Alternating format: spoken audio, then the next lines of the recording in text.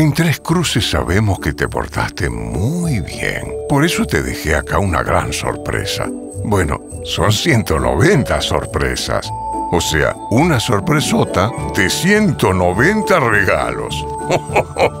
Porque como no me decidía qué regalarte, te conseguí un regalo de cada uno de los locales de Tres Cruces.